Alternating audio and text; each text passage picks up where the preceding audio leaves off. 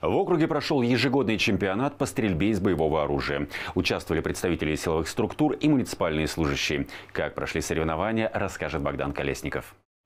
Вам дается три выстрела, три минуты пристрелочные. С оружием, я так понимаю, все же общались? Все знают пистолет Макаров? Да. Напоминаю, правила безопасной стрельбы. Оружие всегда направлено в сторону мишени. Ни вверх, ни вниз, ни лево, ни право. Тем более никогда не поворачиваемся сюда.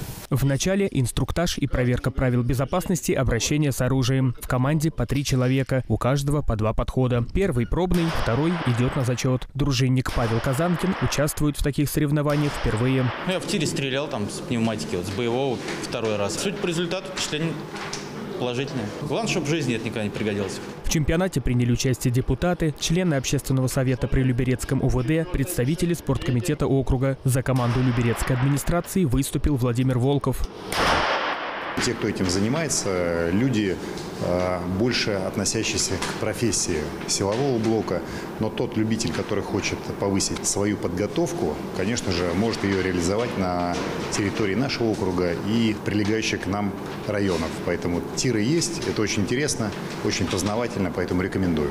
Очередной чемпионат по стрельбе из пистолета Макарова проведут уже в следующем году, в преддверии Дня защитника Отечества. Богдан Колесников, Денис Заугольников, телеканал ЛРТ.